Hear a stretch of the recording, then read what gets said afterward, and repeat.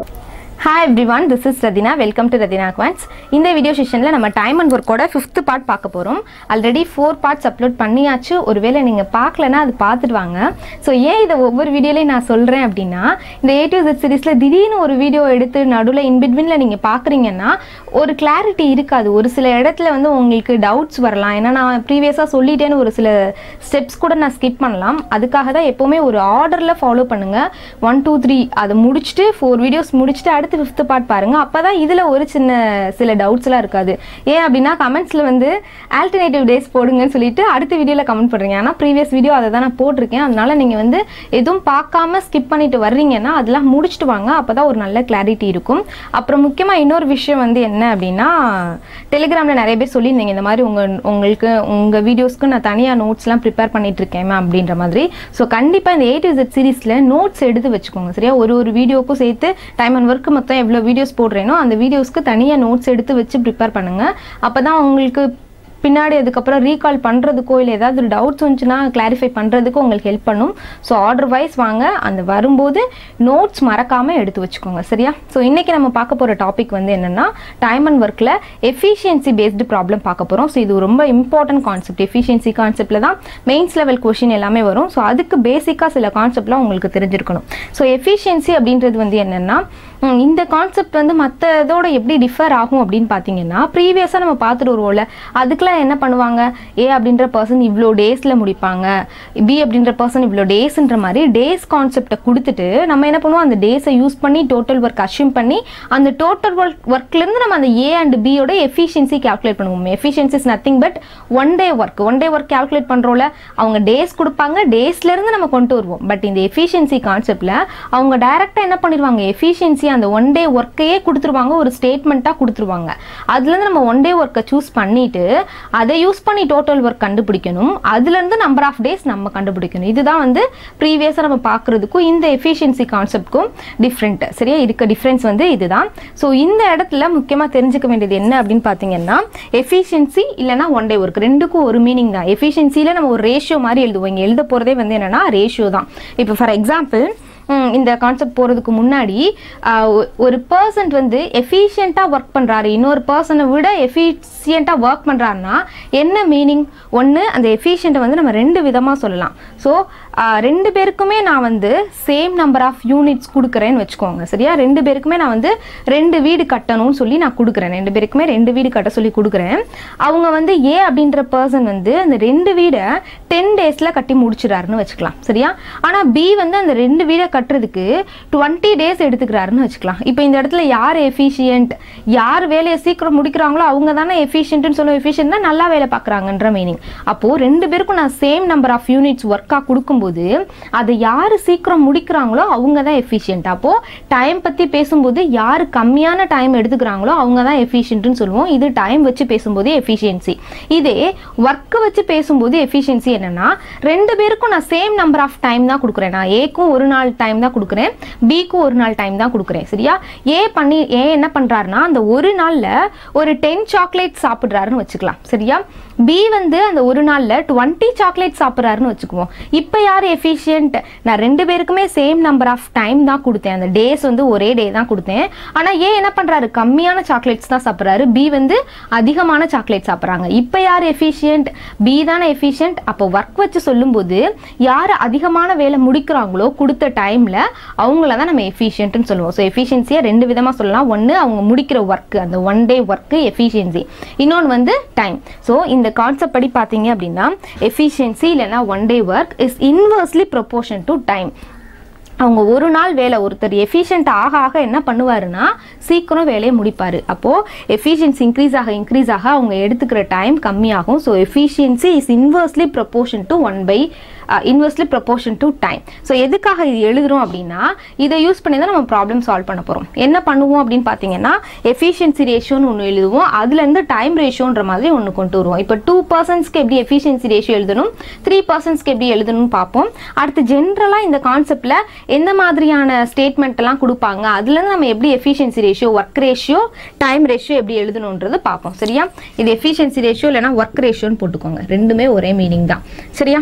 Work ratio இப்போ two பர்சன்ஸ்க்கு எடுத்துக்கலாம். இப்போ டூ பர்சன்ஸில் ஏ அப்படின்னு ஒரு பர்சன் இருக்காங்க பி அப்படின்ற ஒரு பர்சன் இருக்காங்க. அவங்களோட எஃபிஷியன்சி ரேஷியோ பார்த்தீங்க அப்படின்னா ஏ இஸ்டு பி இருக்கு. அப்போ டைம் ரேஷியோ என்னவா இருக்கும்? So efficiency inverse inversely proportion to time தானே. அப்போ ஏ இஸ் டு பி அப்படின்றது எஃபிஷியன்சி ரேஷியோவாக இருந்துச்சுன்னா டைம் ரேஷியோ எப்படி இருக்கும்னா பி இஸ் டு ஏன்னு இருக்கும். இன்வர்ஸ் ரேஷியோ எடுக்கணும். சரியா? இப்போ டூ பர்சன்ஸ்னா அப்படியே இன்வர்ஸ் பண்ணி எழுதிடலாம். இதே efficiency ratio A is to B is to C இருக்குன்னு வச்சுக்கலாம். அப்போ டைம் ரேஷியோ என்னவா இருக்கும்? Time ratio C is to B is to A அப்படின்னு யாராச்சும் சொன்னீங்களா? லைவ் கிளாஸ்லலாம் அந்த மாதிரி சொல்லுவாங்க. பட் அப்படி எடுத்துக்க கூடாது சரியா? இது டூ பர்சன்ஸ்னா அப்படியே நம்ம இன்வெஸ்ட் பண்ணிக்கலாம். பட் த்ரீ பர்சன்ஸ்ன்றப்போ இன்வெர்ஸ் ரேஷியோ எழுதணும்னா அப்படியே ரெசிப்ரோகல் எடுக்கணும். ஏன்னா one by A is to one by B is to one by C ஒரு ஃப்ராக்ஷனை கிடைக்கும் இதுக்கப்புறம் நம்ம ஹோல் ரேஷியோவை கன்வெர்ட் பண்ணிக்கலாம். இல்லைனா டைம் ரேஷியோ எப்படி எழுதலாம்னா இப்போ எனக்கு இவங்க வேணும்னா இவங்களை மட்டும் ஹைட் பண்ணிவிட்டு இது ரெண்டை மல்டிபிள் பண்ணணும். பிசி அடுத்து பிஏ ஹைட் பண்ணால் ஏசி சிஏ ஹைட் பண்ணிட்டா ஏ இன்ட்டு பி இதுதான் வந்து எனக்கு டைம் ரேஷியோ இப்படி எழுதுறதுமே இது இதுலேருந்து தான். இதுக்கு எல்சிஎம் எடுத்து கேன்சல் பண்ணும்போது ஃபைனலாக இப்படி தான் கிடைக்கும். கிளியரா அப்போ த்ரீ பர்சன்ட்க்கு ஒர்க் ரேஷியோலேருந்து எஃபிஷியன்சி ரேஷியோலேருந்து டைம் ரேஷியோ இந்த மாதிரி கொண்டு வருவோம். இப்போ நம்ம என்ன பண்ண போகிறோம்னா ஜென்ரலாக ஒரு கொஷினில் என்ன மாதிரியான ஸ்டேட்மெண்ட்லாம் கொடுத்து நம்ம கிட்ட எஃபிஷியன்சி பற்றி பேசுவாங்க. அதுக்கு நம்ம எப்படி ஒர்க் ரேஷியோ எழுதணும் டைம் ரேஷியோ எழுதுன்றது. முக்கியமாக இங்கே கொடுத்தா ஒன்று இவ்வளோ times A is twice as efficient as பின்னு சொல்லுவாங்க த்ரைஸ்ன்னு சொல்லுவாங்க என் டைம் சொல்லுவாங்க. இல்லைன்னா பர்சன்டேஜ் பர்சன்டேஜில் பேசுவாங்க. A is thirty percentage more efficient than B A is fifty percentage more efficient than பின்னு சொல்லிட்டு ஒன்று டைம்ஸில் இல்லைனா பர்சன்டேஜில் ஸோ அந்த ஸ்டேட்மெண்ட் மட்டும் இப்போ பார்க்கலாம். சரியா? ஸோ இங்கே இருக்கல இந்த ஸ்டேட்மெண்ட் தான் ஜென்ரலாக எக்ஸாம்ஸில் இது வரைக்கும் கொடுத்துருக்குது நம்ம கொஷின்ஸில் வந்து இந்த மாதிரி ஸ்டேட்மெண்ட் கொடுத்துருப்பாங்க. இந்த ஸ்டேட்மெண்ட்க்குலாம் என்ன மீனிங் எப்படி ஒர்க் ரேஷியோ எழுதணும்? எப்படி டைம் ரேஷியோ எழுதணும்னு சொல்லிட்டு இப்போ நான் எழுதி காட்டுறேன். ஆக்சுவலாக வந்து ஸ்பேஸ் இல்லை நான் மறைச்சிருக்கேன். நான் ஃபுல்லாக எழுதி முடிச்சுட்டு நான் மூவ் பண்ணிக்கிறேன். நீங்கள் ஸ்க்ரீன்ஷாட் எடுத்து வச்சுக்கோங்க. சரியா? ஸோ ஃபஸ்ட்டு ஸ்டேட்மெண்ட் பாருங்கள் எப்படி கொடுக்கலாம்? A is twice as efficient as B இந்த மாதிரி ஒரு ஸ்டேட்மெண்ட் கொடுக்கும்போது நீங்கள் நல்லா அதை கேர்ஃபுல்லாக கவனிக்கணும். என்ன சொல்லியிருக்காங்க twice as efficient as B B B கூட கம்பேர் பண்ணும்போது பி மாதிரி என்ன பண்ணுறாரு ஏ வந்து ரெண்டு மடங்கு எஃபிஷியன்ட்டுன்னு சொல்கிறாங்க எஃபிஷியன்ட்னு சொல்லுவாங்க. இல்லைனா ஆஸ் குட் மேன் குட் அப்படின்னு சொல்லலாம். இல்லைனா குட் ஒர்க் மேன் அப்படின்னு என்ன வேணால் சொல்லலாம். சரியா? ஸோ அந்த மீனிங் பாசிட்டிவ் மீனிங் தான் இந்த இடத்துல. ஸோ ஏ வந்து பியை விட ரெண்டு மடங்கு எஃபிஷியண்ட்டாக ஒர்க் பண்ணுறாராம் அப்போ இதுக்கு என்ன மீனிங் நம்ம இங்கே ஃபஸ்ட் என்ன எழுத போகிறோம் எஃபிஷியன்சி ரேஷியோ இல்லைனா ஒர்க் ரேஷியோ இந்த ஒர்க் ரேஷியோன்றது என்னது? ஒன் டே ஒர்க் நம்ம அங்கே கண்டுபிடிக்கிறதுமா டோட்டல் யூனிட்ஸை வச்சுட்டு ஒரு கோடு போட்டுட்டு total units divided by number of days போட்டு ஒன்று எழுதுவோல அதுதான் இங்கே டைரெக்டாக அவங்க கொடுக்குறாங்க சரியா? ஸோ இப்போ பாருங்க ஏஇஸ் பி கூட தானே கம்பேர் பண்ணுறாங்க அப்போ என்ன பண்ணணும்னா யார் கூட கம்பேர் பண்ணுறாங்களோ அவங்களும் ஒன்றுன்னு வச்சுக்கோங்க. பி ஒன்னாக இருந்தால் ஏ என்ன பண்ணுவார்? பிஏ மாதிரி ரெண்டு மடங்கா. பி வந்து ஏ வந்து டூன் இருக்கும். அதாவது பி ஒரு நாளைக்கு ஒரே ஒரு யூனிட் முடிக்கிறாங்கன்னா ஏ என்ன பண்ணுவார்? ஒரு நாளைக்கு ரெண்டு யூனிட் முடிப்பாங்க. இதுதான் இதோட மீனிங் ஸோ இதுலேருந்து நம்ம என்ன எழுதணும்? டைம் ரேஷியோ இது வந்து எஃபிஷியன்சி ரேஷியோ அப்போ டைம் ரேஷியோ எப்படி இருக்கும்? இதுக்கு ரிவர்ஸாக இருக்குமா? அதாவது இன்வர்ஸ் ரேஷியோ எழுதணும். டூ இஸ் டு ஒன்னுக்கு இன்வர்ஸ் ரேஷியோ என்னென்னா one is to two so இந்த மாதிரி டுவைஸ் கொடுத்தா ஒன் டூன்னு போட்டாச்சா? இதே த்ரைஸ் கொடுத்தா என்ன வரும்? இதே கான்செப்டில் ட்வைஸ்க்கு பதிலாக த்ரைஸ் இருந்துச்சுன்னா தனியாக எழுதிக்கோங்க. நீங்கள் ஒரு நியூ ஸ்டேட்மெண்ட் எழுதிக்கோங்க. என்ன வரும்? பி வந்து ஒன்னுனா ஏ வந்து என்ன பண்ணுவார்? த்ரீ யூனிட்ஸ் முடிப்பாங்க. அப்போ டைம் ரேஷியோ என்ன வரும்? ஒன் இஸ் டு த்ரீ இதுக்கு என்ன மீனிங் ஏ வந்து ஒரு நாளில் ஒரு ஒர்க்கை முடிச்சா பி என்ன பண்ணுவார்? த்ரீ டேஸ் எடுத்துக்குவார். இதுதான் இதோட மீனிங் அடுத்து பாருங்க. செகண்ட் ஸோ இதுக்கு நம்ம கான்ஸ்டண்ட்டாக ஒன்று ஃபார்ம் பண்ணிடலாம். இங்கே ட்வைஸ் த்ரைஸ்னு கொடுத்தா டூ டைம்ஸ் த்ரீ டைம்ஸ்னு வச்சாச்சா? இல்லைனா ஃபோர் டைம்ஸ் கொடுக்கலாம் ஃபைவ் டைம்ஸ் கொடுக்கலாம் எத்தனை டைம்ஸ் கொடுத்தாலும் சரி அதை நான் என்னென்னு வச்சுக்கிறேன்? என் டைம்ஸ்னு வச்சுக்கிறேன். ஸோ அப்போது A is N times as efficient as B அப்படின்னா பி ஒன்றா இருந்தால் ஏ என்ன பண்ணுவாங்க? இங்கே எத்தனை என் மென்ஷன் பண்ணியிருக்காங்களோ அந்த என் வரும். Six டைம்ஸ்னா N is to one six டைம்ஸ்னா six is to ஒன்னு வரும். ஃபைவ் டைம்ஸ்னா ஃபைவ் இஸ் டு ஒன் அப்போ டைம் ரேஷியோ எனக்கு என்ன வரும்? ஒன் இஸ் டு என்னன்ற மாதிரி ஒரு ஜென்ரல் ஃபார்மேட் கிளியரா இது கடைசியாக வரலாம். அடுத்து தேர்ட் பாயிண்ட் பாருங்க. A takes twice as much time as B so இந்த இடத்துல எஃபிஷியன்சி பற்றி பேசல டைம் பற்றி பேசியிருக்காங்க அப்போ இந்த மாதிரி பேசினா ஃபஸ்ட்டு டைம் எழுதிட்டு அதுலேருந்து நம்ம என்ன கொண்டு வரோம்னா எஃபிஷியன்சி மோஸ்ட்லி நம்ம கொஷினில் என்ன ரேஷியோ தான் யூஸ் பண்ண போறோம்னா அந்த எஃபிஷியன்சி ரேஷியோ ஒர்க் ரேஷியோ தான் யூஸ் பண்ணுவோம். ஸோ டைம் பற்றி கொடுத்தனால நீங்கள் அதை ஒர்க் ரேஷியோக்கு கன்வெர்ட் பண்ண தெரியணும். ஸோ இப்போ பாருங்கள் A takes twice as much as time as Bina B எடுத்துக்கிற மாதிரி ஏ வந்து என்ன பண்ணுவார்? ரெண்டு மடங்கு டைம் எடுத்துக்குவாராம். சரியா? அப்படின்னா ஃபர்ஸ்ட் டைம் ரேஷியோ எழுதுங்க. பி வந்து ஒரு நாள் எடுத்துக்கிட்டா ஏ என்ன பண்ணுவார்? இது மாதிரி ரெண்டு மடங்கு. ரெண்டு மடங்குனா எவ்வளோ வந்துடும் டூன்னு வந்துடும் ஸோ அப்போ ஏ வந்து டூ டேஸ் எடுத்துக்குவாரு. பி வந்து ஒன் டே எடுத்துப்பாங்க. இது என்ன? டைம் ரேஷியோ அப்போ ஒர்க் ரேஷியோ நம்ம எப்படி எழுதணும்? ஒன் இஸ் டூ டூன்ற மாதிரி எழுதும். சரியா? இந்த இடத்துல பி தான் அதிகமான எஃபிஷியன்ட் கிளியரா இது புரிஞ்சிச்சுல? டைம் வச்சு சொன்னால் இது டுவைஸ்னு கொடுக்கலாம் த்ரைஸ்னு கொடுக்கலாம் என் டைம்ஸ் கொடுக்கலாம். எப்படி கொடுத்தாலும் ஃபர்ஸ்ட் டைம் ரேஷியோ எழுதி டைம் பத்தி பேசுகிறாங்கன்னா டைம் ரேஷியோ எழுதிட்டு அதுக்கப்புறம் ஒர்க் ரேஷியோ எழுதுங்க. அடுத்து ஃபோர்த்து பாயிண்ட் பாருங்க பர்சன்டேஜ்ல கொடுப்பாங்க. ஸோ இந்த பர்சன்டேஜில் கொடுக்குறது ரொம்ப ரொம்ப இம்பார்ட்டன்ட் பர்சன்டேஜில் கொடுத்தா எப்படி கொடுப்பாங்கன்னா A is forty percentage more efficient than B less efficient than B அப்படின்ற மாதிரி கொடுப்பாங்க. அப்போ அந்த தேன் தான் நமக்கு ரொம்ப முக்கியம். தேனுக்கு அப்புறம் யார் இருக்காங்களோ அவங்க கூட கம்பேர் பண்ணுறாங்கன்னு அர்த்தம். So A is forty percentage more efficient than பினா பியை விட ஏ வந்து ஃபார்ட்டி பர்சன்டேஜ் அதிகமாக எஃபிஷியண்ட்டாக இருக்காராம். சரியா? அப்போ தேனுக்கு அப்புறம் யார் வராங்களோ? இங்கே எப்படி? இந்த அஸ்க்கு அப்புறம் யார் இருக்காங்க? யார் கூட கம்பேர் பண்ணுறாங்கன்றதுக்கு நம்ம இந்த அஸ் டினோட் பண்ணிக்கிட்டோம். சரி இதை எடுத்துக்கிட்டோம் கீவேர்டாக ஸோ இந்த இடத்துல தேனுக்கு அப்புறம் யார் இருக்கா? பி அப்போ அந்த பியை நம்ம என்னென்னு எடுத்துக்கணும்னா ஹண்ட்ரடுன்னு எடுத்துக்கணும். கிளியராக பர்சன்டேஜ் பொறுத்த வரைக்கும் தேனுக்கு அப்புறம் யாரை மென்ஷன் பண்ணுறாங்களோ அவங்கள ஹண்ட்ரடுன்னு வச்சுக்கணும். இவங்கள மாதிரி இவங்க ஃபார்ட்டி பர்சன்டேஜ் மோர்னு சொல்லிட்டாங்க. அப்போது ஹண்ட்ரட்ல ஃபார்ட்டி பர்சன்டேஜ் எவ்வளோ? ஃபார்ட்டி தான். அப்போ ஏ என்ன பார் என்ன பண்ணுவார்? இவங்க ஹண்ட்ரட் யூனிட்ஸ் முடிக்கிறாங்கன்னா ஏ வந்து ஒன் ஃபார்ட்டி யூனிட்ஸ் முடிப்பார். ஸோ இந்த மாதிரி ப்ரொசீட் பண்ணுங்கள் ஹண்ட்ரட்னு வச்சு அது கூட மோர்னு கொடுத்தாங்கன்னா ஃபார்ட்டியை ஆட் பண்ணிக்கோங்க. லெஸ்னு கொடுத்தா என்ன பண்ணணும்? ஃபார்ட்டியை மைனஸ் பண்ணி சிக்ஸ்டீன் போட்டுக்கணும். இதை சிம்பிளிஃபை பண்ணுங்கள் சிம்பிளிஃபை பண்ணால் என்ன கிடைக்கும்? செவன் இஸ் டு ஃபைவ்னு கிடைக்குமா? டுவெண்ட்டியால் ஸோ இதுக்கப்புறம் நம்ம டைம் ரேஷியோ எழுதலாமா டைம் ரேஷியோ என்ன வரும்? ஃபைவ் இஸ் டு செவன்ற மாதிரி கிடைக்கும். ஓகேவா கிளியரா அப்போ பர்சன்டேஜில் கொடுக்குறாங்கன்னா என்ன பண்ணணும்? இப்போ இந்த இடத்துல எடுத்துக்கலாம் ஏ இஸ் எக்ஸ் பர்சன்டேஜ் தெரியுதுல? Yes A is X percentage more than B இந்த இடத்துல தேன் இருக்கு. நான் போடல. சிம்பிளாக போட்டிருக்கேன். மோர் தேன் பின்னு கொடுத்தா தேனுக்கு அப்புறம் யார் வர்றா? பி அவங்களுக்கு என்ன எடுத்துக்கணும்? ஹண்ட்ரட்னு எடுத்துக்கணும். ஏ என்ன எடுத்துக்கணும்? எக்ஸ் ஹண்ட்ரட் ப்ளஸ் எக்ஸ்ன்னு எடுத்துக்கணும். இதை சிம்பிளிஃபை பண்ணிட்டு அதுக்கப்புறம் அப்படியே uh, இன்வர்ஸ் ரேஷியோ எழுதணும். Hundred is to hundred plus X இதே லெஸ்ன்னு சொன்னால் மைனஸ் எக்ஸ் போட்டுக்கணும். கிளியராக பர்சன்டேஜில் கொடுத்தா எப்படி ப்ரொசீட் பண்ணுன்றது தெரியுதுல? நெக்ஸ்ட் வாங்க. இப்போ த்ரீ பர்சன்ஸ் வச்சு பேசலாம். த்ரீ பர்சன்ஸ் வச்சு பேசும்போது என்ன கொடுத்துருக்காங்க பாருங்க?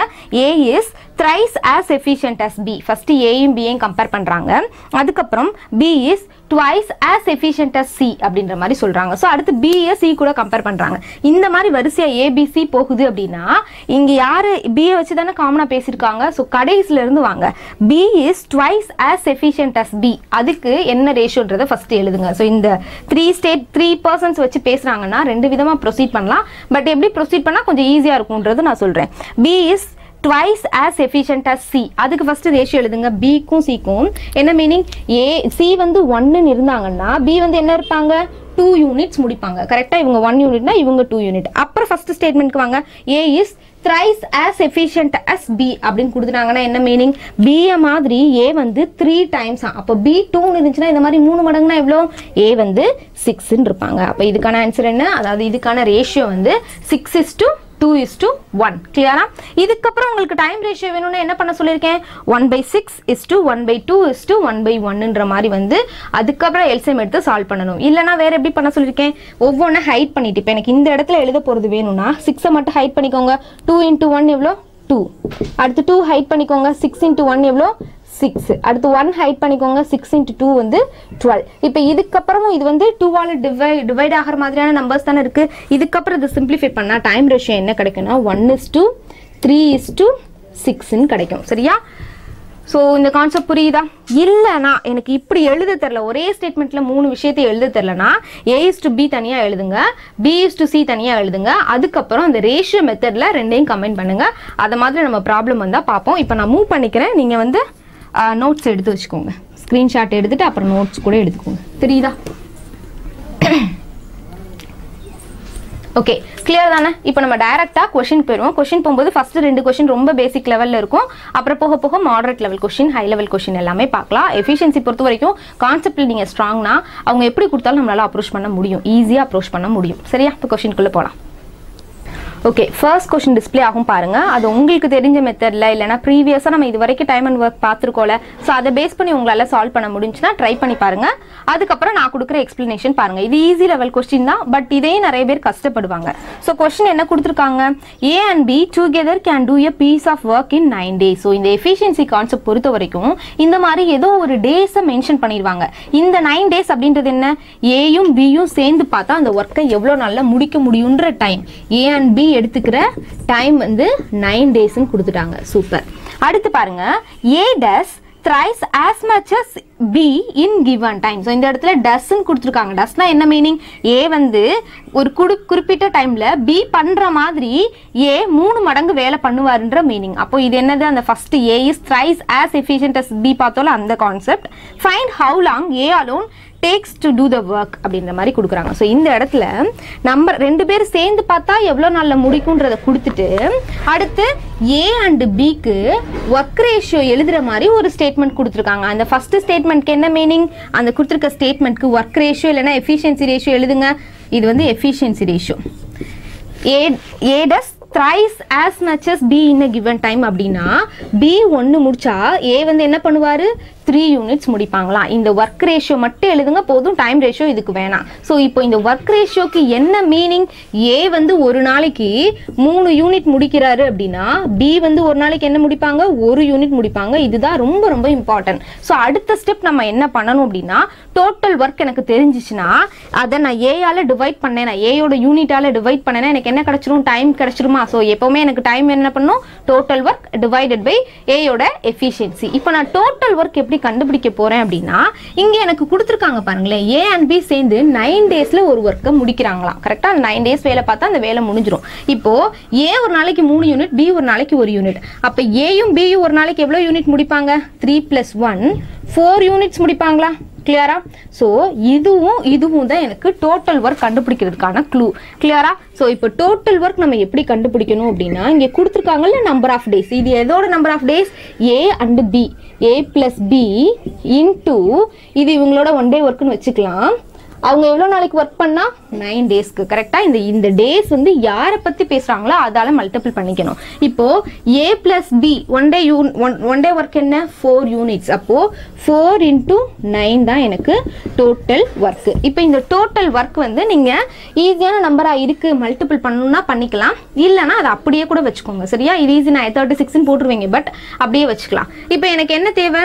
ஏ அலோன் அந்த ஒர்க்கை எவ்வளோ நாளில் முடிப்பாங்கன்னு கேட்குறாங்க கரெக்டாக ஏ அலோன் எடுத்துக்கிற டைம் வேணும்னா எனக்கு என்ன வேணும்? டோட்டல் ஒர்க்கு நம்ம வெட் பார்த்தோம் ஞாபகம் இருக்கா? வெட் ஈக்குவல் டு வாட் டைம் வேணும்னா ஒர்க்கு பை எஃபிஷியன்சி போடுவோம். ஒர்க் எவ்வளோ? Total work four into nine ஏயோட efficiency எவ்வளோ? த்ரீ ஸோ இதை சால்வ் பண்ணுங்கள் one time three time four into three அப்படின்னு போட்டால் டுவெல் டேஸ்ன்னு கிடைக்கும். ஸோ ஏன் இங்கே நான் மல்டிபிள் பண்ணாமல் வைக்கிறேன் அப்படின்னா ஃபைனல் நம்ம ஏதோ ஒரு நம்பரால் டிவைட் டிவைட் பண்ணுவோம். கண்டிப்பாக அதை வச்சு கேன்சல் பண்ணால் ஈஸியாக இருக்கும். பெரிய நம்பர்லாம் மல்டிபிள் பண்ணாதீங்க. சின்ன நம்பர்னா கூட மல்டிபிள் பண்ணிக்கோங்க. கிளியரா ஸோ அப்போது இந்த ஃபர்ஸ்ட் கொஷினில் உங்களுக்கு நான் இவ்வளோ நேரம் எக்ஸ்பிளைன் பண்ணுறதுக்கான காரணம் இதில் நீங்கள் கான்செப்ட் நல்லா கற்றுக்கோங்க என்ன மீனிங் ஸோ இவங்க கொடுத்துருக்க அந்த ரேஷியோக்கு ஒன் டே ஒர்க்குன்னு எடுத்துக்க போகிறோம் ஏ ஒரு நாளைக்கு இவ்வளோ யூனிட் பி ஒரு நாளைக்கு இவ்வளோ யூனிட்ன்ற ஒன் டே ஒர்க்கை கண்டுபிடிச்சிட்டு ஒரு டேஸ் கொடுத்துருப்பாங்க. அந்த டேஸ் வந்து இவங்க ரெண்டு பேரும் சேர்ந்து பார்த்தா கொடுத்துருக்க டேஸ்னா அப்போ ரெண்டு பேரும் சேர்ந்து எடுத்து அதுக்கு கிடைக்கிற யூனிட்டை மல்டிபிள் பண்ணணும் இதே பி மட்டும் தனியாக இவ்வளோ டேஸில் முடிப்பாங்க அப்படின்னு சொன்னால் பியோட யூனிட்டை வச்சு அந்த டேஸை வச்சு மல்டிபிள் பண்ணணும் அடுத்தடுத்த கொஷின் வரும் அப்போ புரிஞ்சுக்கலாம். இது கிளியரா அதுக்கப்புறம் யாரை பற்றி கேட்குறாங்களோ இதே பி ஆலோன் எவ்வளோ நாளில் முடிப்பாங்கன்னு கேட்டால் என்ன பண்ணணும்? Four into nine divided by பியோட ஒன் டே ஒர்க் எவ்வளோ? ஒன் அப்போ four into nine thirty six thirty six by one போட்டால் நமக்கு என்ன கிடைக்கும்? தேர்ட்டி சிக்ஸ் டேஸ் கிடைக்கும் பி ஆலோன் கேட்டால் கிளியரா நெக்ஸ்ட் கொஸ்டின் போகலாமா சரி ஓகே நெக்ஸ்ட் கொஸ்டின் டிஸ்ப்ளே ஆகும். ஸோ இதை நீங்கள் நோட்ஸ் எடுத்துட்டு அந்த கொஸ்டின் ட்ரை பண்ணுங்க. அதுக்கப்புறம் நான் கொடுக்குற எக்ஸ்ப்ளனேஷன் பாருங்க. சரியா? நெக்ஸ்ட் கொஸ்டின் டிஸ்பிளே ஆகும் பாருங்க. ஓகே செகண்ட் கொஸ்டின் என்ன கொடுத்துருக்காங்க? A is thirty percentage more efficient than B A and B working together can complete a piece of work in ten days find the number of days taken to complete the whole work by B alone அதே concept தான். இதுக்கு previous கொஸ்டினுக்கும் இதுக்கு என்ன டிஃப்ரென்ஸ்னா அந்த ஸ்டேட்மெண்ட்டை வந்து அங்கே டைம்ஸில் கொடுத்துட்டாங்க இங்கே பர்சன்டேஜில் கொடுத்துட்டாங்க. தேர்ட்டி பர்சன்டேஜ் எஃபிஷியன்ட்னு சொல்லிட்டாங்களா? Okay A is to B அப்போ ஒர்க் ரேஷியோ எழுதுங்க. ஏ இஸ் டு பிக்கு ஒர்க் ரேஷியோ எழுதணும்னா தேனுக்கு அப்புறம் யார் வந்திருக்கா? பி அப்போ பியை நம்ம என்னென்னு வச்சுக்கணும்? ஹண்ட்ரட்னு வச்சுக்கணும். ஏ என்ன பண்ணணும்? தேர்ட்டி அதிகமாக பண்ணுறாரு அப்போ one thirty is to hundred அப்போ இது எப்படி எழுதலாம்? தேர்ட்டின் இஸ் டு டென்னு எழுதலாமா? சிம்பிளிஃபை பண்ணா இதுக்கு என்ன மீனிங் ஏ ஒரு நாளைக்கு தேர்ட்டின் யூனிட்ஸ் பி ஒரு நாளைக்கு டென் யூனிட்ஸ் ஓகேவா நெக்ஸ்ட் என்ன சொல்லியிருக்காங்க? ஒரு டேஸ் கொடுத்துருக்காங்களா? அது என்ன டே ரெண்டு பேரும் சேர்ந்து முடிக்கிறது working together can complete a work in ten days அப்போ ஏ அண்ட் பி எடுத்துக்கிற டேஸ் பார்த்தீங்க அப்படின்னா டென் டேஸ் அப்போ எனக்கு டோட்டல் ஒர்க் வேணும்னா நான் என்ன பண்ணணும்? டோட்டல் ஒர்க் வேணும்னா ஏ அண்ட் பி தானே சொல்லியிருக்காங்க. அப்போ A plus B into ten போட்டால் எனக்கு டோட்டல் ஒர்க் கிடச்சிடும். ஏன்னா இவங்க ரெண்டு பேரும் ஒரு நாளைக்கு இவ்வளோ ஒர்க் பண்ணுவாங்க. அப்போ டென் டேஸில் எவ்வளோ ஒர்க்னா இன்டூ டென் போடுவோமா? இப்போ பாருங்கள் ஏ பிளஸ் பி எவ்வளோ thirteen plus ten twenty three வரும். So thirteen plus ten into ten which is equal to what twenty three into டென்னு கிடைக்கும். மல்டிபிள் பண்ண வேண்டாம். இது அப்படியே வச்சுக்கோங்க. கிளியரா அடுத்து என்ன கேட்குறாங்க if find the number of days taken to complete the work by B அலோன்னு கேட்குறாங்க அப்போ பி மட்டும் இந்த ஒர்க்கை தனியாக பார்த்தா எவ்வளோ நாள் எடுத்துப்பாங்க? பி மட்டும் எவ்வளோ நாள் எடுத்துப்பாங்கன்னு கேட்டால் என்ன பண்ணணும்? ஒர்க் பை பியோட எஃபிஷியன்சி டோட்டல் ஒர்க் எவ்வளோ டுவெண்ட்டி த்ரீ இன்டூ டென் பியோட எஃபிஷியன்சி எவ்வளோ டென் அப்போது டென் டென் கேன்சல் பண்ணியாச்சா? ஸோ ஆன்சர் என்ன அப்படின்னா டுவெண்ட்டி த்ரீ டேஸ் ஸோ இதுக்கான answer option B twenty three days கிளியரா நெக்ஸ்ட் கொஸ்டின் போலாமா? ஈஸியாக இருக்கா? ஸோ இதே மாடலில் நெக்ஸ்ட் ஒரு கொஸ்டின் வரும். நீங்கள் ட்ரை பண்ணி பாருங்கள் அப்புறம் நான் கொடுக்குற எக்ஸ்பிளனேஷன் பாருங்கள் ஓகே தேர்ட் கொஸ்டின் என்ன கொடுத்துருக்காங்க? A is twenty percentage more efficient than B இதுக்கு ஃபர்ஸ்ட் ஸ்டேட்மெண்ட் எழுதிருங்க. ஏ இஸ் டு பி நமக்கு என்ன கிடச்சிரும்? தேனுக்கு அப்புறம் ஹண்ட்ரட் வந்திருக்கு. அப்போ ஏ வந்து one twenty six is to ஃபைவ்னு எழுதிடலாமா? இதுக்கு என்ன மீனிங் ஏ ஒரு நாளைக்கு சிக்ஸ் யூனிட்ஸ் அப்படின்னா பி ஒரு நாளைக்கு எவ்வளோ யூனிட்ஸ் ஃபைவ் யூனிட்ஸ் பி ஒரு நாளைக்கு ஃபைவ் யூனிட்ஸ் ஓகே அடுத்து என்ன கொடுத்துட்டாங்க if b alone can do a piece of work in 22 days then find the number of days to complete the same work if a and b together okay இப்போ என்ன சொல்றாங்கன்னா ப்ரீவியஸா வந்து ரெண்டு பேர் சேர்ந்தா எவ்வளோ நாள் முடிப்பாங்கன்னு கேட்டுட்டு இண்டிவிஜுவல் நம்மகிட்ட கேட்டாங்க. இப்போ என்ன சொல்றாங்க? பி தனியாக எவ்வளோ நாளில் முடிப்பாங்கன்னு சொல்லிட்டு ரெண்டு பேர் சேர்ந்து எவ்வளோ மு- எவ்வளோ நாளில் அந்த ஒர்க்கை முடிப்பாங்கன்ற மாதிரி கேட்குறாங்க அப்போ நம்ம டோட்டல் ஒர்க் ஃபர்ஸ்ட் கண்டுபிடிக்கணும். ஸோ டோட்டல் ஒர்க் நம்ம எப்படி கண்டுபிடிக்கணும்? நான் என்ன சொல்லியிருக்கேன்? அந்த டேஸ் என்ன? பி தனியாக வேலை பார்த்தா எவ்வளோ டேஸில் முடிப்பாங்கன்னு சொல்லியிருக்காங்க. அப்போ பி தான் எடுத்துக்கணும். பி மட்டும் தான் எடுத்துக்கணும். போன தடவை ஏ அண்ட் பின்னு சொன்னால ஏ பிளஸ் பி எடுத்துக்கிட்டோம். அப்போ பி வந்து எவ்வளோ டேஸில் முடிக்கிறாங்களா? டுவெண்ட்டி டூ டேஸில் கண்டுபிடிக்கிறாங்க அப்போ பியோட ஒன் டே யூனிட் எவ்வளோ five so five into twenty two தான் எனக்கு டோட்டல் ஒர்க்கு அப்படியே இருக்கட்டும். நீங்கள் வந்து இதை மல்டிபிளாக பண்ண வேணாம். இது இப்படியே இருக்கட்டும். அடுத்து நம்மகிட்ட என்ன கேட்குறாங்க so time taken if A and B டுகெதர்னு கேட்குறாங்க so time taken A and B together ரெண்டு பேரும் சேர்ந்து பார்த்தா அதை எவ்வளோ நல்லா முடிப்பாங்கன்னு. ஸோ அதுக்கு நம்மளுக்கு என்ன வேணும்? Total work total work five into twenty two divided by ஏயும் பியும் சேர்ந்து பார்த்தா ஒரு நாளைக்கு எவ்வளோ யூனிட்ஸில் முடிப்பாங்கன்றது தெரியணும். இவங்க சிக்ஸ் இவங்க ஃபைவ் அப்போ ரெண்டு பேரும் சேர்ந்தா ஒரு நாளைக்கு எவ்வளோ யூனிட்ஸ் முடிப்பாங்க? லெவன் யூனிட்ஸ் முடிப்பாங்களா? ஸோ லெவன் லெவன் யூனிட்ஸாக முடிச்சா இந்த ஃபைவ் இன்ட்டு டுவெண்ட்டி டூ யூனிட்ஸை எவ்வளோ நாளில் முடிக்கணுன்றதான் டைம் என்ன என்ன பண்ணணும்? ஒர்க் பை எஃபிஷியன்சி இவங்க ரெண்டு பேரோட எஃபிஷியன்சி லெவன் ஸோ இதை கேன்சல் பண்ணுங்கள் one time two time five into two ten டேஸில் இந்த ஒர்க்கை முடிப்பாங்க. கிளியரா ஸோ இந்த இடத்துல டிஃப்ரெண்ட்டாக இருக்கதே பி அலோன்னு கொடுத்துட்டாங்க. அப்போ பி இன்ட்டு பி எடுத்துக்கிற டைமை தான் மல்டிபிள் பண்ணும். ப்ரீவியஸாக ரெண்டு பேரும் சேர்ந்துன்னு சொன்னால நம்ம ஏ ப்ளஸ் பின்னு எடுத்துக்கிட்டோம். இங்கே பின்னு எடுத்தாச்சு. கிளியரா இப்போ ஃபோர்த்து கொஸ்டின் போயிடலாமா? ஓகே ஃபோர்த்து கொஸ்டின் டிஸ்ப்ளே ஆகும். நீங்களே அதை சால்வ் பண்ணுங்கள் அதுக்கப்புறம் நான் கொடுக்குற எக்ஸ்பிளனேஷனை பாருங்கள்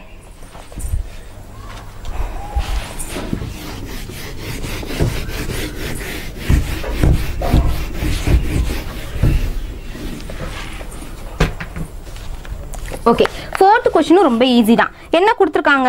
இங்கே மூணு பர்சன்ஸ் வச்சு பேசுகிறாங்க என்ன கொடுத்துருக்காங்க? A is two times as efficient as B B is three times as efficient as C if C alone can do a piece of work in sixty days okay இந்த இது எதுக்கு இந்த க்ளூ சி சிக்ஸ்டி டேஸில் முடிக்கிறாரு அப்படின்னா அந்த total work கண்டுபிடிக்கிறதுக்கான clue தான் இது. How many days required by A B and C together complete the half of the work so இந்த கொஷினை கொஞ்சம் கேர்ஃபுல்லாக ரீட் பண்ணிக்கோங்க. ஃபஸ்ட்டு நம்மளுக்கு என்ன தேவை? மூணு பேரோட எஃபிஷியன்சி தேவை. அதுக்கு அந்த ஸ்டேட்மெண்ட்டை எப்படி எழுதுறோம்னு பாருங்க. நான் இனிஷியலாகவே சொல்லியிருந்தேன் இந்த மாதிரி மூணு ஸ்டேட்மெண்ட் கொடுத்துருக்காங்க அப்படின்னா பின்னாடி இருந்து வாங்க. யார் காமனாக இருக்காங்களோ அந்த காமன் இன்ஃபர்மேஷன்லேருந்து வரணும். பி தான் காமனாக இருக்காங்க. அப்போ பி வந்து லாஸ்ட்ல இருந்து வாங்க. பி இஸ் என்ன சொல்லிட்டாங்க? B is three times as efficient சின்னு சொல்லிட்டாங்க. அப்போ சி ஒன்னுனா பி என்ன இருப்பாங்க? த்ரீன்னு இருப்பாங்க. அடுத்து A is two times as efficient as B அப்போ பிஏ மாதிரி ரெண்டு மடங்கு ஏ இருப்பாங்களா? அப்போ த்ரீ இன்ட்டு டூன்னு என்ன வரும்? சிக்ஸ்ன்னு வரும். ஸோ இது எஃபிஷியன்சி ரேஷியோ இதுக்கு என்ன மீனிங் ஏ ஒரு நாளைக்கு சிக்ஸ் யூனிட்ஸ் பி ஒரு நாளைக்கு த்ரீ யூனிட்ஸ் சி ஒரு நாளைக்கு ஒரு யூனிட் நம்ம அங்கே தான் டேஸ் வச்சு கண்டுபிடிக்கிறத இந்த ஸ்டேட்மெண்ட் வச்சு நம்ம இங்கே சொல்கிறோம் சரியா? மூணு பேர் சேர்ந்தா எவ்வளோ யூனிட்ஸ் மூணு பேர் சேர்ந்தா டென் யூனிட்ஸ் அடுத்த ஸ்டெப் என்ன? எனக்கு டோட்டல் ஒர்க் கண்டுபிடிக்கணும். டோட்டல் ஒர்க் நம்ம எப்படி கண்டுபிடிப்போம்? டோட்டல் ஒர்க் அப்படின்றது ஒரு டேஸ் கொடுத்துருப்பாங்க. அந்த டேஸ் யாரை வச்சு முடிக்கிறதுன்றதை பார்க்கணும். என்ன சொல்லியிருக்காங்க? C alone can do a piece of work in sixty days அப்போ டோட்டல் ஒர்க் வேணும் அப்படின்னா சி இன்டூ சிக்ஸ்டி போடணும். சி ஒரு நாளைக்கு எவ்வளோ யூனிட் முடிப்பாங்க? ஒரு ஒரு யூனிட் முடிச்சிருப்பாங்க. அப்போ அறுபது நாளைக்கு எவ்வளோ யூனிட்ஸ் முடிச்சிருப்பாங்க? Sixty units முடிச்சிருப்பாங்களா? So one into sixty equal to sixty so இதுதான் எனக்கு டோட்டல் யூனிட்ஸ் டோட்டல் ஒர்க் ஆனால் என்னோட கொஷின் என்ன அப்படின்னா ஹாஃப் ஆஃப் த ஒர்க்கை மூணு பேர் சேர்ந்து எத்தனை நாளில் பண்ணுவாங்கன்னு கேட்குறாங்க டோட்டல் ஒர்க் எனக்கு அறுபது. அப்போ அதில் ஹாஃப் ஒர்க்னா எனக்கு எவ்வளோ வரும்? சிக்ஸ்டியில் ஹாஃப்னா எவ்வளோ sixty by two equal to thirteen கிடைக்குமா? அப்போது இந்த மூணு பேரும் சேர்ந்து முடிக்க வேண்டிய யூனிட்ஸ் வந்து தேர்ட்டி யூனிட்ஸு ஸோ ஒரு நாளைக்கு மூணு பேரும் டென் டென்னாக முடிப்பாங்க. அப்போ தேர்ட்டி யூனிட்ஸ் எவ்வளோ நாளில் முடிப்பாங்க? தேர்ட்டி பை டென் போட்டால் என்ன கிடைக்கும்? த்ரீ டேஸ் கிடைக்கும். இல்லை எனக்கு வரலன்னா time equal to what work முடிக்க வேண்டிய work thirty divided by efficiency மூணு பேரோட efficiency ten so thirty by ten equal to three டேஸ்னு answer கிடைக்கும். சரியா? ஸோ இதற்கான ஆன்சர் பி ஆப்ஷன் பி இந்த ஃபோர் கொஷின் கிளியராக இந்த ஃபோர் கொஷினுமே ரொம்ப ஈஸி தான். அடுத்து ஃபிஃப்த் கொஷின் நம்ம பார்க்க போகிறோம் ஸோ கொஷின் டிஸ்பிளே ஆகும். அதை நீங்களே ட்ரை பண்ணுங்கள் ஆஃப் பண்ணிடுடா. ஓகே ஃபிஃப்த் கொஷின் பாருங்கள் இந்த கொஷின் ஆக்சுவலாக ஓல்டு வீடியோஸ் போடும்போது ஒரு சார் கமெண்ட்டில் டவுட் கேட்டிருந்தாங்க. நான் இதை அந்த வீடியோவில் சால்வ் பண்ணியிருப்பேன். அதனால தான் இந்த வீடியோலேயே கொண்டு வரேன். ஸோ இந்த கொஷின் சால்வ் பண்ணுறதுக்கு நீங்கள் ப்ரீவியஸாக இருக்க பார்ட்ஸ் பார்த்துருக்கணும். முக்கியமாக அந்த பிஃபோர் கம்ப்ளீஷன் அப்படின்னு ஒரு டாபிக் இல்லை ஃபோர்த்து வீடியோவாக அது பு- தான் இந்த கான்செப்ட் உங்களுக்கு கிளியராக புரியும். ஸோ ஃபஸ்ட் பாருங்கள் ஏ பிஃபோர் கம்ப்ளீஷன் கான்செப்டையும் எஃபிஷியன்சி கான்செப்டையும் மிக்ஸ் பண்ணி கொடுத்துருக்குது தான் இந்த question B is fifty percentage less efficient than A and A and C is twenty five percentage more efficient than B இப்போ மூணு ஸ்டேட்மெண்ட் தான் மிக்ஸ் பண்ணுறாங்க ஆனால் என்ன பண்ணுறாங்க அந்த பர்சன்டேஜ் வச்சு மிக்ஸ் பண்ணியிருக்காங்க B alone can complete the work in sixty days இப்போ இது வந்து டோட்டல் ஒர்க் கண்டுபிடிக்கிறதுக்கான க்ளூ அடுத்து if A B C start together started the work A left one day before the completion B left six days before the complete of work then fine the number of days A worked for A எத்தனை நாளைக்கு work பண்ணியிருப்பாங்கன்றதான் கேட்குறாங்க சரியா? So இந்த question நல்லா understand பண்ணிக்கோங்க. First வந்து ratio எழுதுங்க. Work ratio ABC so இதுக்கு நீங்கள் யோசிக்கிறது தான் தனித்தனியாக எழுதணும்னாலும் நீங்கள் எழுதலாம். இல்லை கம்பைன் பண்ணி எப்படி எழுதுனா ஈஸியாக இருக்கும்ன்றது பாருங்கள் இப்போ B is fifty percentage less efficient than A C is twenty five percentage more than பின்ற மாதிரி கொடுக்குறாங்க. அப்போ அந்த செகண்ட் ஸ்டேட்மெண்ட் எடுத்துக்கோங்க மோர் தேன் பி அப்படின்னா இங்கே ஹண்ட்ரட் வந்துருமா? ஸோ இவங்கள மாதிரி டுவெண்ட்டி ஃபைவ் பர்சன்டேஜா சி வந்து டுவெண்ட்டி ஃபைவ் பர்சன்டேஜ் அதிகமாக இருப்பாங்களா? அப்போ சி என்னவா இருப்பாரு? ஒன் டுவெண்ட்டி ஃபைவாக இருப்பாரா? இப்போ ஏக்கு வாங்க. ஏலேருந்து என்ன சொல்கிறாங்கன்னா ஏயை விட ஃபிஃப்டி பர்சன்டேஜ் பி வந்து கம்மியாக இருப்பாராம். ஏல பாதி தான் பி இருப்பாங்கன்னு சொல்கிறாங்க அப்போ இவங்க ஹண்ட்ரட்னா இவங்க டூ ஹண்ட்ரட் இருந்தால் தானே அது கரெக்டாக இருக்கும்? புரியுதா? ஏ வந்து டூ ஹண்ட்ரட் இருந்தால் தான் டூ ஹண்ட்ரட்ல பாதி எவ்வளோ? ஃபிஃப்டி பர்சன்டேஜ் ஃபிஃப்டி பர்சன்டேஜ் எவ்வளோ? ஹண்ட்ரட் அது கம்மியாக இருப்பாங்களா? அப்போ இவங்க ஹண்ட்ரடா இவங்களை விட டுவெண்ட்டி ஃபைவ் பர்சன்டேஜ் அதிகமாக இருக்காங்க. ஒன் டுவெண்ட்டி ஃபைவ் இதுக்கப்புறம் இதை நம்ம சிம்பிளிஃபை பண்ணலாமா? டுவெண்ட்டி ஃபைவால் கேன்சல் பண்ணால் eight is two four is two ஃபைவ்னு வரும். ஸோ இப்போ எழுதுங்க. ஏ ஒரு நாளைக்கு எயிட் யூனிட்ஸ் பி ஒரு நாளைக்கு ஃபோர் யூனிட்ஸ் சி ஒரு நாளைக்கு ஃபைவ் யூனிட்ஸ் முடிப்பாங்க. ஸோ மூணு பேர் எவ்வளோ யூனிட்ஸ் முடிப்பாங்கன்னு பாருங்கள் எயிட் ப்ளஸ் ஃபோர் இது கூட மொத்தமாக எப்படி எழுதிக்கலாம்? மூணு பேரும் த்ரீ மெம்பர்ஸ் டூகெதர் எவ்வளோ யூனிட்ஸ் முடிப்பாங்கன்னா? டுவெல் செவன்டீன் யூனிட்ஸா அடுத்த ஸ்டேட்மெண்ட் என்ன கொடுத்துருக்காங்க? B alone complete the work in sixty டேஸ்னு சொல்லியிருக்காங்களா? அப்போ இது வந்து டோட்டல் ஒர்க் கண்டுபிடிக்கிறதுக்கான க்ளூ அப்போ டோட்டல் ஒர்க் வேணும்னா நம்ம என்ன பண்ணணும்? டோட்டல் ஒர்க் பி வந்து சிக்ஸ்டி டேஸ்க்கு ஒர்க் பண்ணுறாராம் பி ஒரு நாளைக்கு எவ்வளோ யூனிட்ஸ் முடிப்பாங்க? ஃபோர் எவ்வளோ டேஸ்க்கு சிக்ஸ்டி டேஸ்க்கு ஒர்க் பண்ணியிருக்காங்க. அப்போ டோட்டலாக இதுக்கு வேணும்னா கண்டுபிடிச்சிக்கோங்க. இல்லைனா நம்ம இந்த பிஃபோர் கம்ப்ளீஷனில் போட போகிறோம் அப்போ நம்மளுக்கு டோட்டல் ஒர்க் வேணும். அதனால் நம்ம மல்டிபிள் பண்ணியே வச்சுக்கலாம். எவ்வளோ வரும்? டூ ஃபார்ட்டி யூனிட்ஸ் முடிக்க வேண்டியிருக்கும். இதுதான் டோட்டல் ஒர்க் டோட்டல் ஒர்க்கை இப்படி தான் கண்டுபிடிக்கணும். இந்த செவன்டீன் வந்து நம்ம தேவைப்பட்டால் யூஸ் பண்ணிக்கலாம். தேவைப்படலைன்னா அதை அப்படியே விட்டுலாம் இப்போ நம்ம பிஃபோர் கம்ப்ளீஷன் கான்செப்ட்க்கு வரப்போகிறோம் பிஃபோர் கம்ப்ளீஷன் கான்செப்டில் நான் என்ன பண்ண சொல்லியிருக்கேன்? எத்தனை பர்சன்ட் இருக்காங்களோ அத்தனை பர்சன்ட் போட்டுக்கோங்க. ஏ பி சி ஏயோட எஃபிஷியன்சி எவ்வளோ? எயிட் பியோட எஃபிஷியன்சி ஃபோர் சியோட எஃபிஷியன்சி ஃபைவ் அதுக்கப்புறம் என்ன பண்ண சொல்லியிருக்கேன் டோட்டல் நம்பர் ஆஃப் டேஸை டோட்டல் நம்பர் ஆஃப் டேஸை நம்ம எக்ஸ்ன்னு வச்சுக்க சொல்லியிருக்கேன். அப்போது யா ஏ என்ன பண்ணுறாரு A left one day before completion சொல்லிட்டாங்க. அப்போ ஏ எவ்வளோ டேஸ்க்கு இது வந்து எஃபிஷியன்சி இது வந்து டைம் ஒர்க்கு டைம் ஏ எவ்வளோ டேஸ்க்கு ஒர்க் பண்ணியிருப்பாரு? எக்ஸ் மைனஸ் ஒன் டேக்கு ஒர்க் பண்ணியிருப்பாரு. பி என்ன பண்ணுறாரு சிக்ஸ் டேஸ் பிஃபோர் கம்ப்ளீஷன் சொல்கிறாங்க அப்போ பி வந்து எக்ஸ் மைனஸ் சிக்ஸ் டேஸ்க்கு ஒர்க் பண்ணியிருப்பாரு. சி என்ன பண்ணியிருப்பாரு? சி பற்றி இடையில போகிறாருன்னே சொல்லவே இல்லை. அப்போ சி கண்டிப்பாக full number of days X டேஸ்க்கு ஒர்க் பண்ணியிருப்பாரு. இது எக்ஸ் சி எக்ஸ் எக்ஸ்ன்னு வந்தால் நிறைய பேர் வந்து அந்த இதே ஒமிட் பண்ணிடுவாங்க. எக்ஸ் வச்சு எனக்கு சால்வ் பண்ண வராது. எக்ஸே பிடிக்காதுன்னு ரொம்ப ரொம்ப ஈஸி தான். நம்மளுக்கு கான்செப்டை மட்டும் புரிஞ்சு எக்ஸ்ன்னு வச்சுக்கிறோம். அதுக்கப்புறம் கேன்சல் பண்ணுறது தான். கேன்சல் பண்ணுறதுல நீங்கள் ஸ்ட்ராங்னா இதை ஈஸியாக போடலாம். ஸோ இதுக்கப்புறம் நம்ம என்ன பண்ணணும்? இது ரெண்டு மல்டிபிள் பண்ணுங்கள் எயிட் எக்ஸ் மைனஸ் எயிட் இது ரெண்டு மல்டிபிள் பண்ணால் four X minus four into six twenty four five into X five X அப்புறம் எல்லாமே ஆட் பண்ணால் எனக்கு டோட்டல் இந்த டூ ஃபார்ட்டி வரணும். ஸோ டோட்டல் இந்த டூ ஃபார்ட்டியா ஸோ இப்போ மொத்தமாக ஆட் பண்ணுங்கள் eight plus twelve seventeen X seventeen X minus eight minus thirty two twenty ஃபோர்னா minus thirty two equal to two ஃபார்ட்டின்னு வரும். So seventeen X equal to two forty plus thirty டூன்னு கிடைக்குமா? So two seventy டூன்னு வரும். So எக்ஸோட value வேணும்னா two seventy two divided by seventeen அப்போ என்ன வரும்? ஒன்று சிக்ஸ்டீன் டேஸ்ன்ற மாதிரி வரும். ஸோ டோட்டலாக முடிக்க வேண்டிய டேஸ் வந்து எவ்வளோனா அவங்க சிக்ஸ்டீன் டேஸ்க்கு ஒர்க் பண்ணியிருப்பாங்க. இந்த எக்ஸோட வேல்யூ சிக்ஸ்டீன் டேஸ் ஏன்ட்டு என்ன கேட்குறாங்க கொஷின் ஏ எவ்வளோ நாளைக்கு ஒர்க் பண்ணியிருப்பாங்கன்னு கேட்குறாங்க ஏ எவ்வளோ நாளைக்கு? எக்ஸ் மைனஸ் ஒன் டேஸ்க்கு அதாவது வேலை முடிகிற ஒரு நாளைக்கு முன்னாடி போயிடுறாராம். அப்போ ஏ என்ன பண்ணியிருப்பாரு சிக்ஸ்டீன் மைனஸ் ஒன் ஃபிஃப்டீன் டேஸ்க்கு ஒர்க் பண்ணியிருப்பாங்க ஸோ இதோட ஆன்சர் வந்து என்னன்னா ஆப்ஷன் பி ஃபிஃப்டீன் டேஸ் தான் ரைட் ஆன்சர் கிளியரா இப்போ நெக்ஸ்ட் ஒரு கொஷின் பார்ப்போம். அதுவும் இன்ட்ரெஸ்டிங்காக இருக்கும். ரொம்ப ரொம்ப இம்பார்ட்டன்ட் கொஷின் அதோட இந்த செஷன் முடிச்சுக்கலாம். அமத்திண்டா ஸோ லாஸ்ட் கொஷின் பாருங்க. டிஃப்ரெண்ட்டான கொஷின் என்ன கொடுத்துருக்காங்கன்னு பாருங்க. P and Q working together can complete a piece of work in ten days okay பியும் கியூ என்ன பண்ணுவாங்களாம்? டென் டேஸில் ஒரு ஒர்க்கை முடிச்சிருவாங்களாம். Due to illness Q worked half of his efficiency. Because of that the work will be completed in sixteen days அதாவது sixteen days நீங்கள் டேரெக்டாக கொடுக்கலாம். இங்கே டேரெக்டாக சிக்ஸ்டீன் டேஸ்னு சொல்லிட்டாங்க இல்லைன்னா சிக்ஸ் டேஸ் அதிகமாக எடுத்துப்பாங்க அப்படின்ற மீனிங்கும் கொடுப்பாங்க. அப்போ நம்ம எடுத்துக்கணும் சிக்ஸ்டீன் டேஸ் நம்ம டிஃபால்ட்டாக எடுத்துக்கணும். சரியா? ஆறு நாள் இவர் வந்து என்ன சொல்கிறாங்க செகண்ட் ஸ்டேட்மெண்ட்டில் நார்மலாக பியும் கியூவும் அவங்களோட ஒரிஜினல் எஃபிஷியன்சியில் ஒர்க் பண்ணால் டென் டேஸில் ஒரு ஒர்க் முடிஞ்சிருமா? ஆனால் என்ன ஆயிடுச்சு?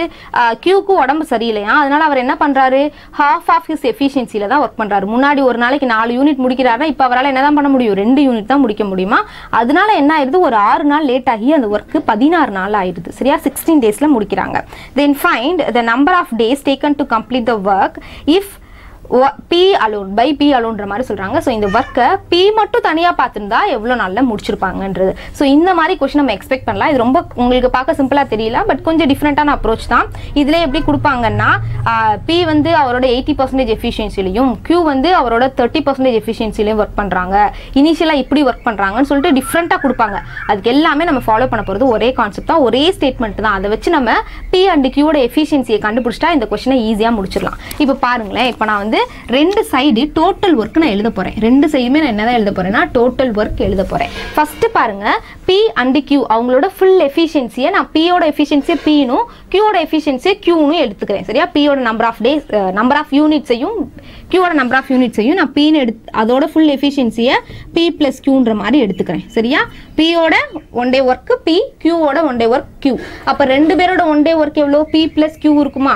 ஸோ ரெண்டு பேரும் சேர்ந்தா எவ்வளோ டேஸில் அந்த ஒர்க்கை முடிப்பாங்க? முடிப்பாங்களா டென் டேஸில் அப்போ அவங்களோட ரெண்டு பேரோட ஒன் டே ஒர்க்கையும் அந்த நம்பர் ஆஃப் டேஸையும் மல்டிபிள் பண்ணால் எனக்கு என்ன கிடைக்கும்? டோட்டல் ஒர்க் கிடைக்குமா? வெட்டுன்னு சொல்லியிருக்கேன் நான் W equal to what E into T அவங்களோட எஃபிஷியன்சி டைம் ரெண்டையும் மல்டிபிள் பண்ணால் எனக்கு டோட்டல் ஒர்க் கிடைக்கும். அப்போது இவங்களோட எஃபிஷியன்சி இன்ட்டு டைம் போட்டால் எனக்கு டோட்டல் ஒர்க்கு கிடைச்சிருச்சு. இது ஃபர்ஸ்ட் ஸ்டேட்மெண்ட்ல கிடைச்ச டோட்டல் ஒர்க் செகண்ட் ஸ்டேட்மெண்ட்ல கிடைக்கிற டோட்டல் ஒர்க் பாருங்க என்ன கொடுத்துருக்காங்க? Due to illness Q work half of his efficiency அப்போ பி வந்து என்ன பண்ணிருக்காரு? அவரோட ஒர்க்கை தான் பார்த்துருக்காரு. பி என்ன பண்ணிருப்பாரு? பினா பி யூனிட்ஸ் தான் முடிச்சிருப்பாரு. ஆனா கியூ என்ன பண்ணுவாரு? ஹாஃப் ஆஃப் இஸ் எஃபிஷியன்சினா கியூ பை டூ ஒர்க் தான் முடிப்பாரு. சரியா? முன்னாடி கியூ யூனிட்ஸ் முடிச்சிருந்தாங்கன்னா இப்போ என்ன பண்ணுவாரு? கியூ பை டூ யூனிட்ஸ் தான் முடிப்பாங்க. அப்போ ஹாஃப்னா என்ன பண்ணிக்கணும்? கியூ பை டூன்னு போட்டுக்கணும். இதே செவன்ட்டி பர்சன்டேஜ் எஃபிஷியன்சியில் முடிக்கிறாரு. அப்படின்னா என்ன பண்ணணும்? Seven by ten into Q அப்படின்ற மாதிரி போட்டுக்கணும். ஸோ இப்போ இது எனக்கு இவங்களோட ஒன் டே ஒர்க்குன்ற மாதிரி ஆயிடுச்சு. இதனால எவ்வளோ நாளில் முடிக்கிறாங்களா? இன்டூ இதுக்கு எடுத்துக்கிற டைம் எவ்வளோ? இன்டூ சிக்ஸ்டீன்ன்ற மாதிரி வந்துடும் சரியா? சிக்ஸ் டேஸ் மோர்னு கொடுப்பாங்க. அப்போனால நம்ம என்ன பண்ணணும்?